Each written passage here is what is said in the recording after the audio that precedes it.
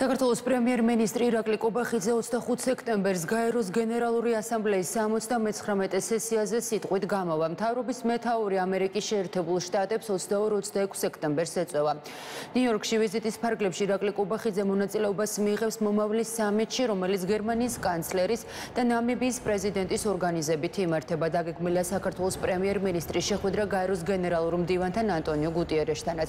მთავრობის მეთაური ასევე დაესწრება ოფიციალურ მიღებას, რომელიც ამერიკის პრეზიდენტის და მისი მეუღლის სახელით გენერალური ასამბლეის მონაწილე დელეგაციათა მეთაურების პატივსაცემად გამართება.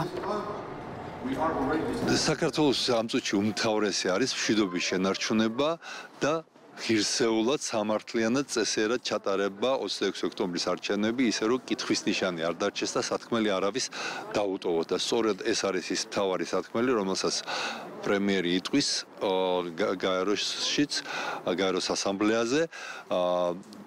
ორი წელიწად ნახევარია საქართველოს ხელისუფლება, ქართული ხალხი და ქართული სახელმწიფო უძლებს უპრეცედენტო ზეწოლას, რომ როგორმე შევინარჩუნოთ ქვეყანაში მშვიდობა.